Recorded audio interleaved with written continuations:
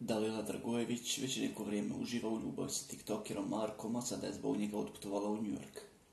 Dalila je novi dečko upoznala se na ovoj društvenoj mreži gdje su igrali popularne mečeve, a onda je planula ljubav.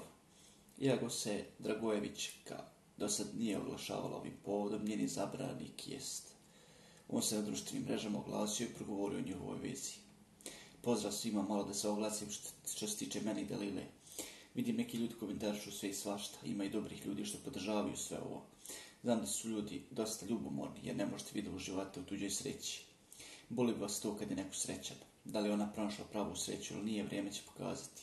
Bitno je to što se vama daje za pravo da komentarišete stvari koje vas se ne tiču. Vi ćete pokušati nešto da pokvarite bolesnim komentarima, bavite se čime se ja bavim, mantisti i gluposti, bavite se vašim životima. Pronađite neko ko će da vas voli i pronađite pravu sreću da se borite za tu osobu. Nelakše je pljuvati i pričati sve i svašta. To je ta ljubomara koja je loša i zla. Ništa vi dobro nećete napraviti sati. Ništa vi niste bolji čovjek ako napišete loš komentar, pogotovo ako ta osoba tebi nije ništa loše uradila. Za ostale ljude koji podržavaju sve ovo, koji su vjerovali sve ovo, hvala im.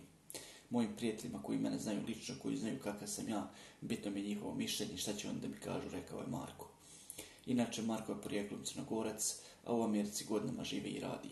Kako su pisali prethodnih dana mediji, on teško zarađuje svoj dinar. On je tamo našao i posao, nosi namještaj i glavni izvor prihoda pored zarade na TikToku. Kaže izvor koji navodi da Dalila svojim novcem dolazi kod njega. Dalila sve sama plaća.